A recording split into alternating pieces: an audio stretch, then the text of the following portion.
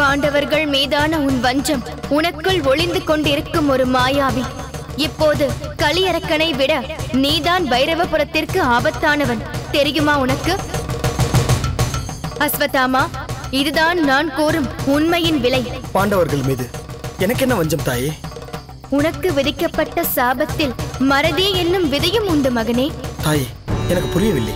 அஸ்வத்தாமா பாரத போரின் போது உன் தந்தை துரோணரை குறுக்கு வழியில் பாண்டவர்கள் கொன்றார்கள். அதன் காரணமாய் வெகுண்டு எழுந்த நீ வஞ்சம் தீர்க்க பாண்டவர்களை கொல்ல பயங்கர வேகத்தில் சென்றாய். தவறான புரிதலால் பாண்டவர்களை கொல்வதற்கு பதில் உப பாண்டவர்களை கொன்றுவிட்டாய். அந்த பாவ செயலுக்காகத்தான் நீ யுக யுகமாய் மரணமின்றி தவித்துக் கொண்டிருக்கிறாய். இதில் முக்கிய விஷயம் நீ ஈசன் மீது கொண்டுள்ள பக்தியால் அவரின் கோபம் தணிக்க எவ்வளவு பரந்த மனதோடு நீ பைரவபுரத்தில் பணியாற்றுகிறாயோ அதைவிட பல மடங்கு உன் ஆழ்மனதில் உறங்கி கிடக்கும் வஞ்சம் உன்னை ஆட்கொண்டுள்ளது. அதை நீ அடக்காவிட்டால் எல்லாமே ஆபத்தில் முடிந்துவிடும் அஸ்வதாமா. இதுதான் உண்மை. தாயே இது என்ன புது குழப்பம்?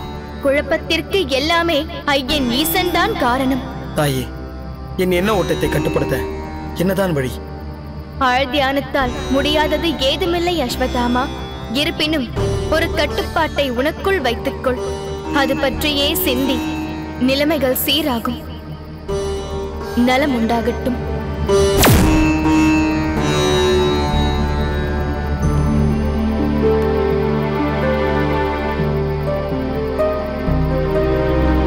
ஈசனே என் எல்லா நிலைகளுக்கும் தாங்கள் தானே காரணம்.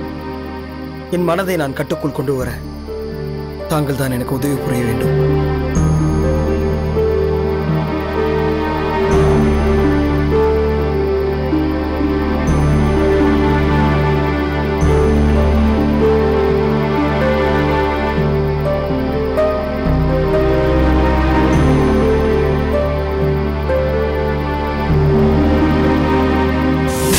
சக்தி! சத்யா! எப்பா ரொம்ப பசியோட வந்திருக்கேன்ப்பா எல்லாம் ரெடியா இருக்குன்னு சொன்னா நான் இப்படியே போய் கை கால் அறுபடி சாப்பிட வந்துருவேன்ப்பா சக்தி என்ன அது ஒருத்தர் கூட கட்டு ஆ. ஏண்டி காட்டு கத்தலா கத்திக்கிட்டு இருக்கேன்டி. நான் கத்துறது பக்கத்து தெருவில் இருக்கவங்களுக்கு கூட கேட்டிருக்கோம். என்னமோ இப்பதான் புதுசா கல்யாணம் ஆன பொண்ணு மாதிரி ஆடி அசைஞ்சு அண்ணன் போட்டுட்டு வந்து நிக்கிற? வேகமா வந்து நிக்க வேண்டியதானே நீங்க கூப்பிட்டது என் காதுல விழுந்ததுங்க. விழுந்துதா? அப்புறம் ஏண்டி வரல? என் பேரை சொல்லி கூப்பிட்டு தானே நான் வர முடியும். சக்தி சத்யான்னு பேர் சொல்லி கூப்பிடும் போதே இந்த மீனாட்சி எங்க இருந்து வர முடியும்? வர வர திமிரு உனக்கு ரொம்ப அதிகமா போயிடுச்சு ஏங்க எதுவா இருந்தாலும் நியாயத்தை பேசணும்? வீட்டுக்கு வந்த உடனே கட்டின பொண்டாட்டிய கூப்பிட மனசு வரல. பையனை கூப்பிட்டீங்க. சரி அவன் நம்ம பையன் பரவாயில்ல. பையனை கூப்பிட்டதுக்கு அப்புறம் அடுத்தது யார கூப்பிடணும்? கட்டின பொண்டாட்டியான என்னெல்ல கூப்பிட்டுருக்கணும். ஆனா நீங்க யார கூப்பிட்டீங்க? அந்த திமிரு பிடிச்ச கழுத உங்க மருமகளை எல்லாம் கூப்பிட்டீங்க? அப்படின்னா என்ன அர்த்தம்? உங்க மருமகளை விட நான் கேவலமானவளா. ஏண்டி இப்படி இருக்கிற? பாவண்டி அவ சின்ன பொண்ணுடி. அவகிட்ட போய் போட்டி போட்டுக்கிட்டு என்னமோ வம்புக்கு எடுத்துக்கிட்டு இருக்க? நீங்க அவளுக்கு தான் சப்போர்ட் பண்ணி பேசுவீங்கன்னு எனக்கு தெரியும். இத பத்தி இனிமே என்கிட்ட பேசாதீங்க. டேய் சப்போட்டாவும் இல்ல தர்பூசணியாவும் இல்ல. ஏண்டி வீட்டுக்கு வந்த உடனே சண்டைக்கு இழுக்கிற? நீங்க தானே ஆரம்பிச்சீங்க? ஓஹோ நான் உங்ககிட்ட சண்டை போடுறதுக்குன்னா இப்ப நான் வீட்டுக்கு வந்திருக்கேனா? இது பாருப்பா உங்ககிட்ட பேசிக்கிட்டு இருக்க என்னால முடியாது. எனக்கு பசிக்குது முதல்ல சாப்பாட்டை எடுத்து வை. என்னடி முறைக்கிற?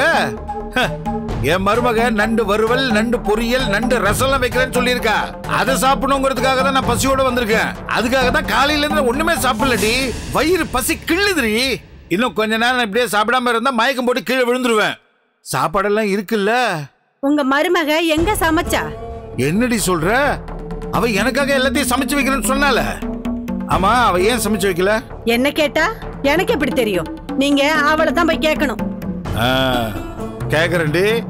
அவகிட்ட போய் கேட்டுட்டு அதுக்கப்புறம் வந்து கவனிக்கிறேன். சத்யா மா சத்யா மா. என்னம்மா என்னடா? என்னமோ என் மருமகன் நண்டு வரவுல சமைச்சு வச்சிருப்பா சாப்பிடலாம் ஆசையோட வந்தா உங்க அம்மா. ஆமா இவ எதுக்கு அழுதுகிட்டு இருக்கா? அப்பா சத்யா சமைக்கிறேன்னு தான்ப்பா உள்ள போனா. ஆனா அம்மா தான் சமையல் கட்டுக்குள்ள வராத. அப்படி மீறி வந்தா காலை உடைச்சிருவேன்னு சொல்லிட்டாங்கப்பா.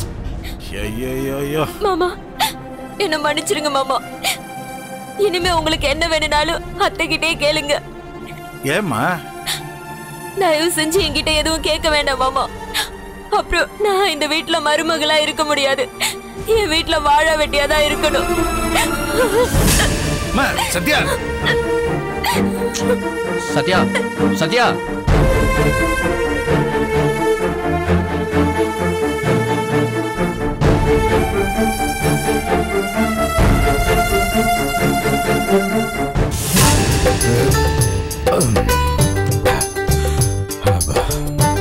என்னங்க ஒரு விஷயம் உங்ககிட்ட? இரு இரு இரு. இருங்கங்க நான் சொல்றேன். அட இரு. அ, விஷயம்லாம் இருக்கட்டும். மத்தியான சாப்பாட்டுக்கு என்ன செய்ய போற? ஏங்க காலை சாப்பாடு சாப்பிட்டு வந்து கழுவுன கைய இன்னும் காயல. அதுக்குள்ள உங்களுக்கு மத்தியான சாப்பாடு கேக்குதோ? இது வயிறா இல்ல கிணறாங்க ஏன் மஞ்சு கோவிச்சுக்கிற? மத்தியானம் என்ன சாப்பாடுன்னு தெரிஞ்சுக்கிற ஆர்வத்துல தானே கேட்டேன். என்னம்மா? வாங்க வாங்க வாங்க. வாங்க வாங்க. நல்லா இருக்கியம்மா? ஆ, நல்லா இருக்கேன். நீங்க நல்லா இருக்கீங்களா? நல்லா இருக்கேன். பொண்ணை பார்த்துட்டு போலான்னு வந்தேன். இருக்காளா? ஆ, இப்பதான் சாப்பிட்டு ரூமுக்குள்ள போனா வாங்க போய் பாக்கலாம் வாங்க.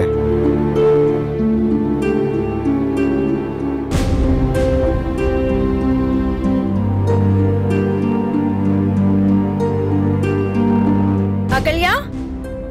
அகல்யா? ஆ, அப்பா வந்திருக்காங்கம்மா. அம்படி அகல்யா?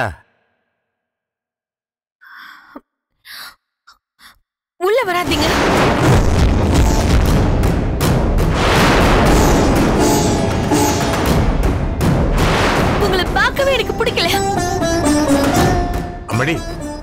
நான் உன்னை பெத்தவம்மா. உங்க அப்பா.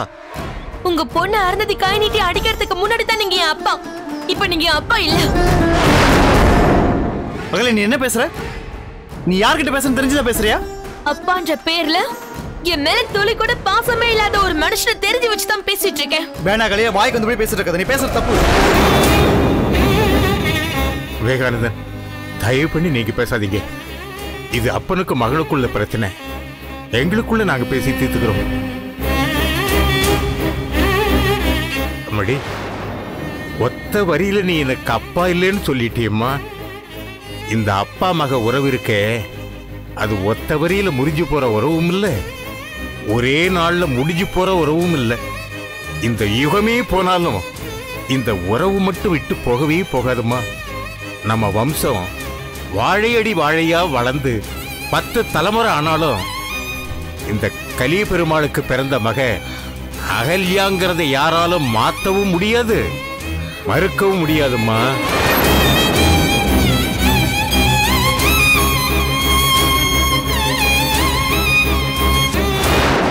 நீங்க என்ன பேசினாலும் சரி. நான் உங்களை பார்க்க போறதோ இல்ல. உங்க கூட வர போறதோ இல்ல. நீ என் கூட வரலனாலும் பரவாயில்லம்மா. தயவு பண்ணி என்கிட்ட கொஞ்சம் முகம் கொடுத்து பேசுமா நான் எதுக்கு உங்களை பார்த்து பேசணும்? நீதாம்மா என் உசுரன்னு சொல்லி ஒரு சொட்டு கண்ணீர் விடுவீங்க. அதானே? அதுதான் உங்களுக்கும் உங்க பொண்ணுக்கும் கை வந்த கலையாச்சு.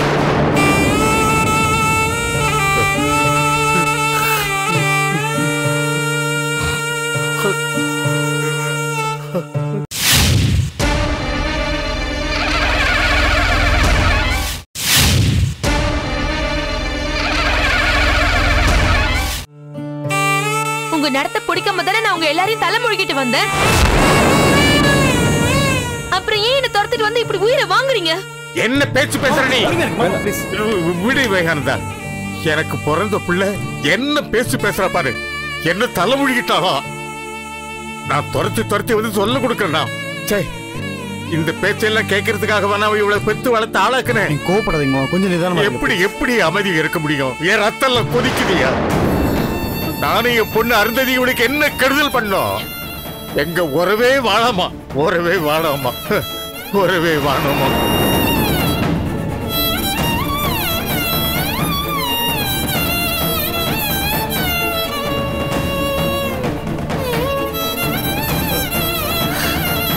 ஆளவன் தான் மகன். தப்பானவன்னு அருந்ததி என்கிட்ட சொன்னா. அப்ப கூட அவசரப்படாதமா அகல்யா அந்த பையன் மேல ஆசை வச்சுட்டா அவ இல்லைன்னா அவளுடைய மனசு ரொம்ப சங்கடப்படுன்னு. இவளுக்கு ஆதரவா தானே பேசுனேன்? இல்லைன்னு சொல்ல சொல்லுங்க அவளை சொல்றேன். முதல்ல எல்லாம் ஆதரவா தான் பேசுனீங்க. அத நான் இல்லன்னு சொல்லல. அதுக்கப்புறம் ஏன் மாத்தி பேசுனீங்க? ஏன் மாத்தி பேசுன? எதுக்காக பேசுன?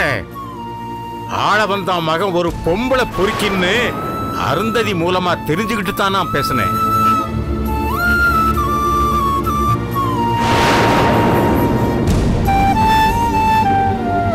மடி உன்னுடைய வாழ்க்கை பாழா போயிடக்கூடாதுன்னு தானமா அப்படி பேசுனேன் இதுல என்னம்மா தப்பு இருக்கு? உங்களுக்கு உங்களை பொறுத்தவரை உங்க பெரிய பொண்ணு பேசுறதுல நியாயம் இருக்கும். அவங்க எது பேசினாலும் உங்களுக்கு புரியும். ஆனா நான் பேசுறதுல மட்டும் நியாயம் இருக்காது. நான் எது பேசினாலும் உங்களுக்கு புரியாது. கடவுளே கடவுளே உனக்கு எப்படி புரிய வைக்கிறதுன்னு எனக்கு புரிய வைக்க வேண்டாம்.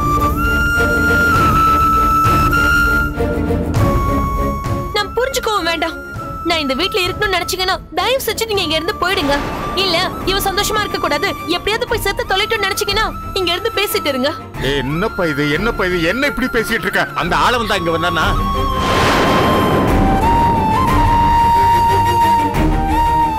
ஆமா இங்க வந்தாரு. இப்ப அதுக்கு என்ன?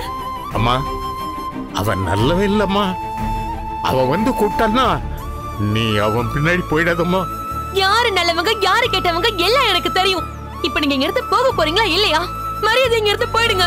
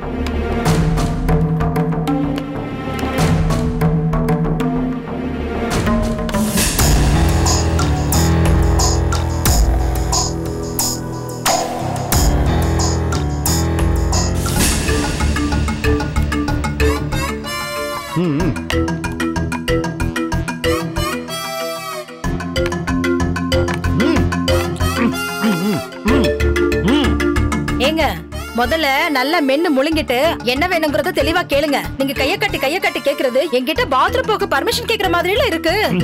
போடி. குடிக்க ஐஸ் தண்ணியை சில்லுன்னு எடுத்துட்டு வா. ஓ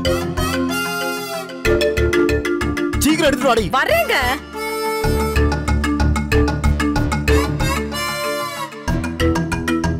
அந்த இடியாப்ப தோசை எல்லாம் செஞ்சிருப்பேல அதையும் போய் எடுத்துட்டு வா. போ.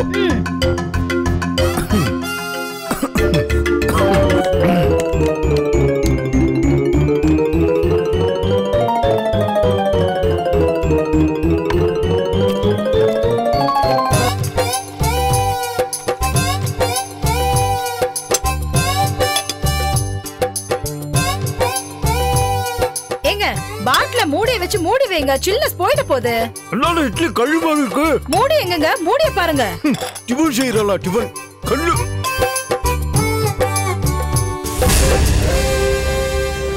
ஏண்டி. மூடி வாய்க்குள்ள தாண்டி இருந்திருக்கு? என்னங்க உங்களுக்கு டிஃபன் எது மூடி எதுன்னு கூட தெரியாம சாப்பிட்டுட்டு இருக்கீங்களே. அப்படி என்னங்க அவசரம்? பசியில மூடி எது இட்லி எதுன்னு தெரியாம கூட வாயில போட்டேன். இத போய் பெருசா பேசிக்கிட்டு. பாத்துங்க. கரண்டி டம்ளர் எல்லாத்தையும் எடுத்து போட்டு மென்ற போறீங்க. உங்க முகத்துல பார்க்க லட்சணமா இருக்கிறது உங்க பல்லு மட்டும்தான். அதுவும் போயிட போகுது. போடி எல்லாம் எங்களுக்கு தெரியும். போய் வேலையை பாரு. என்னங்க? எனக்கும் மிச்சம் மீதி ஏதாவது வைங்கங்க. நானும் இன்னும் சாப்பிடல. ஐ வில் ட்ரை ஏண்டி பசி அடங்கவே மாட்டேங்குது. அந்த இருக்க பொங்கலையும் அள்ளி போடு. போடு. போடுறேன். நான் இன்னைக்கு ஏதாவது வேற ஏதோன்னு நினைச்சுக்கிறேன். சாம்பார் சாம்பார். ஆ சாம்பார் ஊத்து அப்படியே கொட்டவா? கொட்டு.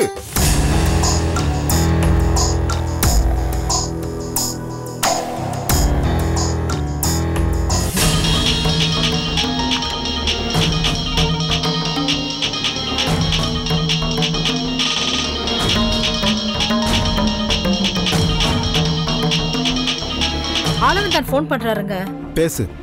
ஹலோ? ஆளவன் தான் பேசுறேம்மா. ஆ வணக்கம் சார் சொல்லுங்க சார். என்னம்மா மஞ்சுவா பேசுறது? ஆமா சார். என்னம்மா எப்படி இருக்க? நல்லா இருக்கேன் சார். உங்க வீட்டுக்காரர் எப்படிம்மா இருக்காரு? ம் ரொம்ப நல்லா இருக்காரு சார். மருமக அகல்யா எப்படி இருக்கா?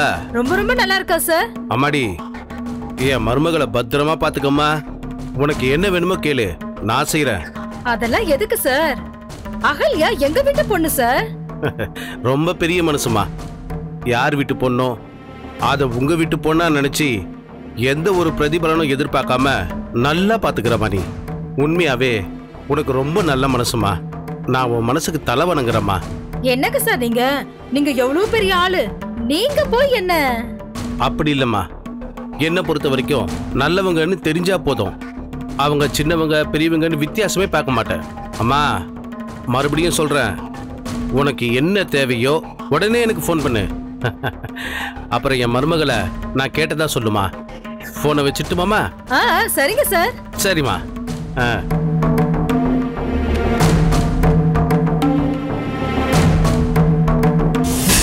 ஆனந்த நாயகியே அற்புதத்தின் அவதாரமே.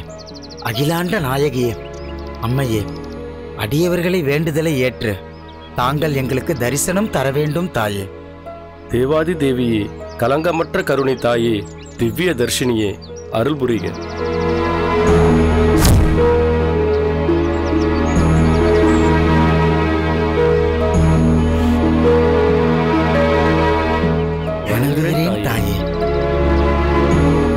பிள்ளைகளே நீங்கள் அழைத்து நான் வராமல் போனால் நீங்கள் என் மீதும் ஐயன் ஈசன் மீதும் கொண்டுள்ள பக்திக்கு என்ன அர்த்தம்? கூறுங்கள் என்ன வேண்டும் உங்களுக்கு? தாயே எங்களுக்கென்று என்ன ஆசாபாசம் இருக்கின்றது? இந்த பூமி க்ஷேமமாக இருக்க வேண்டும். எல்லோரும் அமைதியாக இருக்க வேண்டும். இதுதான் எங்களின் இலக்கு. இப்போது அப்படி யாருக்கு என்ன குறை ஏற்பட்டு விட்டது என்ன தாயே தெரியாதது போல் கேட்கின்றீர்கள். ஈசன் கையிலையில் ஆக்ரோஷ தவம் இருப்பதாக கேள்விப்பட்டோம். உண்மைதான் சித்தர்களே. யாரும் நெருங்க முடியாத அடர்ந்த பனி பிரதேசத்தில் உள்ள கைலாய குகையில் ஈசன் ஆக்ரோஷ தவம் இருக்கின்றார். தாயே ஈசன் ஆக்ரோஷ தவம் துவங்கியதும் காந்தாரகத்தில் ஆயிரக்கணக்கானோர் நிலச்சரிவில் ஜீவசமாதி ஆகிவிட்டனர். மேற்கு வாசல் பகுதியில் குழந்தைகளை கொண்டு சென்ற ஒரு கப்பல் கவிழ்ந்து பல நூறு அப்பாவி குழந்தைகள் ஜலசமாதி ஆகிவிட்டனர் தாயே.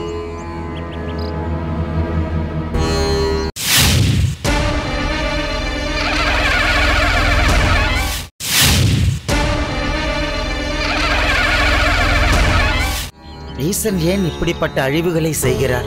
எதற்கு இந்த ஆக்ரோஷம்? சித்தர்களே ஆக்ரோஷம் வந்துவிட்டால் அழிவுதான் விளைவு. உயிர்கள் பலியாகும் போது ஆக்ரோஷத்திற்கு சிறியவர்கள் பெரியவர்கள் என்ற வித்தியாசமெல்லாம் இல்லை. இதுதான் நியதி. இறை சக்தியானாலும் இயற்கை கதியானாலும் இரண்டிற்கும் இந்த விதி பொருந்தும்.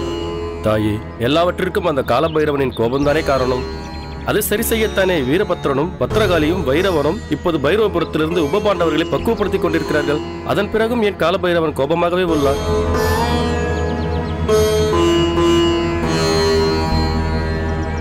எல்லாவற்றையும் விட மிக சக்தி படைத்த கலியரக்கன் அந்த பணிகளை சிதைத்துக் கொண்டிருக்கிறான்.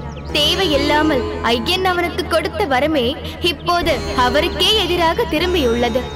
அந்த ஆதங்கமும் விரக்தியும் மானுடர்களின் அறியாமையும் பொறுப்பின்மையுமே அவரின் கோபத்துக்கும் ஆக்ரோஷத்திற்கும் காரணம்.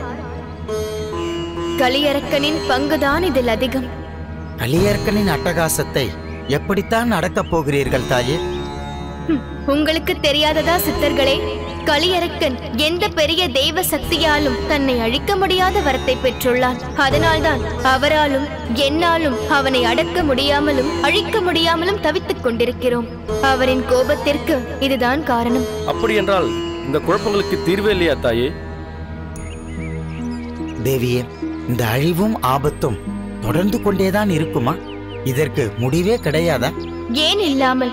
எல்லா முடிவிற்கும் ஒரு ஆரம்பம் இருப்பது போல் எல்லா ஆரம்பத்திற்கும் ஒரு முடிவும் உண்டு. தேவ சக்தியால் தன்னை அழிக்க முடியாது என்ற மமதையால் களியறக்க நாட்டம் போட்டுக் கொண்டிருக்கிறான் ஆனால் அவன் மறந்து போன ஒரு விஷயம் உண்டு. அவனை தேவர்களால் மட்டும்தான் அழிக்க முடியாதே தவிர மானுட சக்தியால் அவனை அழிக்க முடியும் என்ற உண்மை அவனுக்கு புரியாமல் போய்விட்டது சித்தரே.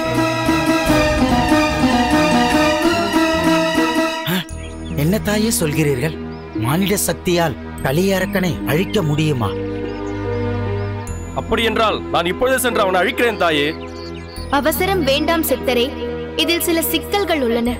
அவனை அழிக்கும் சக்தி சாதாரண ஒரு மானிடருக்கோ உங்களைப் போன்ற சித்தர்களுக்கோ இல்லை. பருவம் அடையாத சர்வ கடாட்சமும் பெற்ற ஒரு பெண் குழந்தையால் மட்டுமே முடியும். அப்படி ஒரு குழந்தையை எங்கிருந்து கண்டுபிடிப்பது தாயே? கவலைப்படாதீர்கள் சித்தரே. அந்த குழந்தையை இனிமேல் கண்டுபிடிக்க தேவையில்லை. அந்த குழந்தை இப்போது பைரவபுரம் வந்து விட்டது அந்த மானுட மகாசக்தியின் திருவிளையாடல்கள் துவங்க போகின்றது. அவளால் தான் கலியரக்கனை அடக்கி அழிக்க முடியும். எனவே சற்று பொறுமை கொள்ளுங்கள் சித்தர்களே. என்னதான் நடக்கிறது என்று பார்ப்போம். நலம் உண்டாகட்டும் நல்லது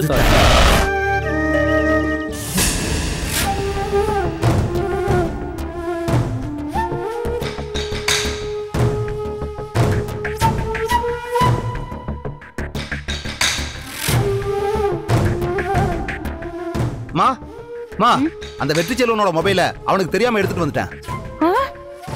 வெற்றி செல்வனை ஏமாத்தி பணம் நகைலாம் பறிக்கணும்னு நாம பேசிட்டு இருந்தத இந்த செல்லுல தானே படம் பிடிச்சான்? ஆமாமா முதல்ல அதை அழிடா. அப்பதான் அவன் நம்மள மிரட்டவே முடியாது. வந்த அன்னைக்கே நம்மள அடிமை மாதிரி மிரட்ட ஆரம்பிச்சிட்டான். யார் வீட்ல வந்து யார மிரட்டுறது. அழிடாத.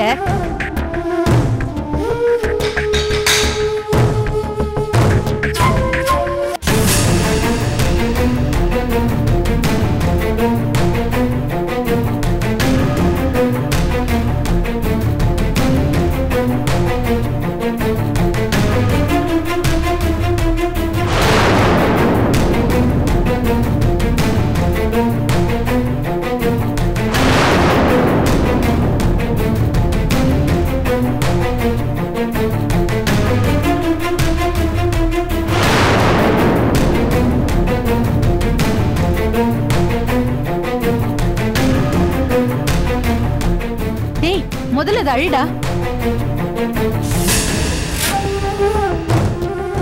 மா டெலீட் பண்ணிட்டேன். அப்பாடா இப்பதான் எனக்கு நிம்மதியாவே இருக்கு. இனிமே அந்த வெற்றி செல்வனால நம்மள ஒண்ணுமே பண்ண முடியாது.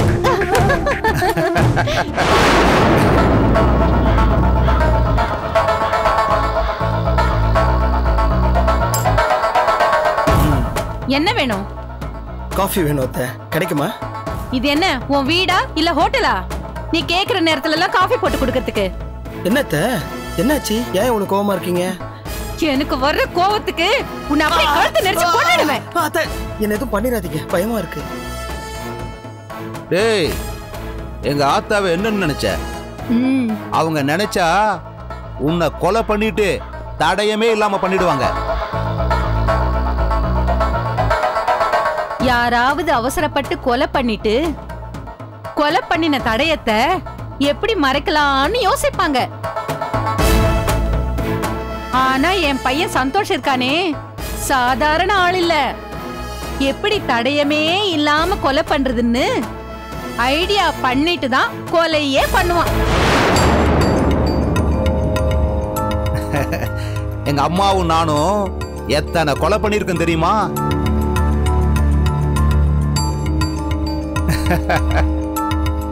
நீங்க கொலை பண்ணதெல்லாம் இருக்கட்டும். நீங்க ரெண்டு பேரும் பேசினத நான் வீடியோ பண்ணி வச்சிருக்கேனே. அதை மறந்துட்டீங்களா? மறக்கல. மறைச்சிட்டோம். புரியல?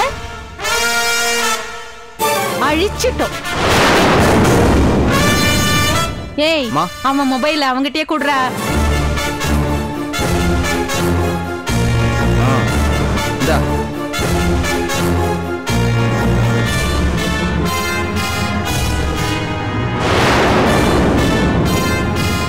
என்னடா பாக்குற? நீ படம் எடுத்தத நாங்க அழிச்சிட்டோம். இனிமே உன்னுடைய ஆட்டம் இங்க எடுப்படாது எங்கிருந்து வந்து யார மிரட்டுற? டேய் எங்களையா மிரட்டுற? உங்க போன் எங்க தம்பி?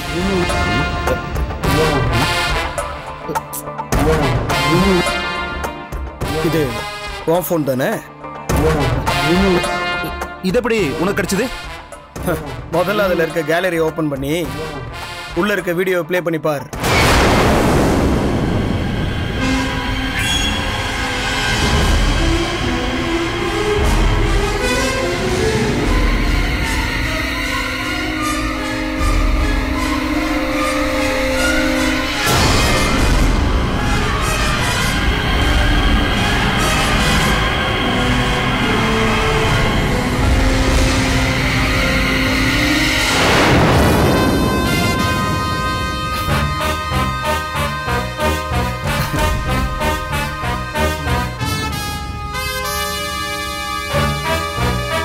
இந்த போன்ல தானே நீ அடிச்சிட்டு தான் நினைச்சிட்டு இருக்க? சிஸ்டம்ல அதை ஸ்டோர் பண்ணி வச்சிருக்கேன் தெரியுமா? அதை உங்க அப்பா கிட்ட காட்டினேன்னு வச்சுக்கோ. உன் கதை புரியுத?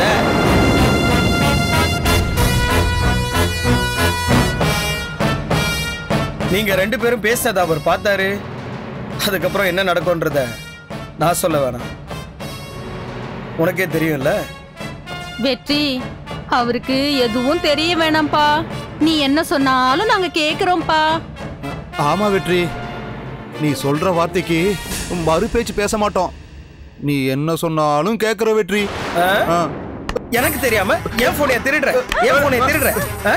திருடுவ? இவனை திருட சொல்லி நீ சொல்லி தெரிய ஐயா காது காது காது காது சொல்லி தருவ? ஆ, ஆ, காது காது காது இனிமே நான் நாலு நாளும் பத்து நாளும். ஊ சொல்லணும். நாலும் மூணும் எட்டு நாளும் ஊ சொல்லணும். புரிஞ்சுதா? சைபர் சைபர் நூறுன்னு சொன்னாலும் நான் சொல்லிடுறேன். ஆ.